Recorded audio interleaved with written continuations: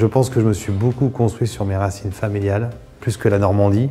Et même dans le sud, je me suis construit par rapport à mes relations, qui sont devenues sentimentalement assez fortes. Une bonne partie de ma vie a été dans la ferme de mes grands-parents, euh, qui était vraiment une ferme en autarcie. hein. Et euh, le contact des producteurs, des éleveurs, euh, voilà, je trouve ça terriblement sincère, terriblement moi. euh, voilà. De toute façon, on ne peut pas renier son héritage familial, je crois. C'est ça qui est marrant, c'est que moi, je suis entre le yin et le yang, en fait, de ce que je viens et ce que je fais maintenant et pour qui je le fais. Et finalement, euh, c'est l'artisanat et, le principal, c'est que ça soit sincère, au final.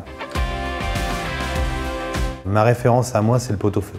Le consommer est la quintessence de tous ces éléments qui ont cuit ensemble. À Saint-Tropez, la construction des plats, elle est faite sur la même réflexion, avec les textures en plus et les chauds et les froids en plus.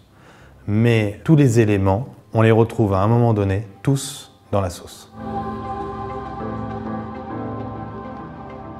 La plus grande qualité qu'on ait dans notre métier avec nos confrères, c'est qu'on est tous différents. C'est la meilleure façon d'offrir une diversité à nos clients. Et, euh, la cuisine, elle se construit sur euh, la sincérité, sur euh, l'honnêteté.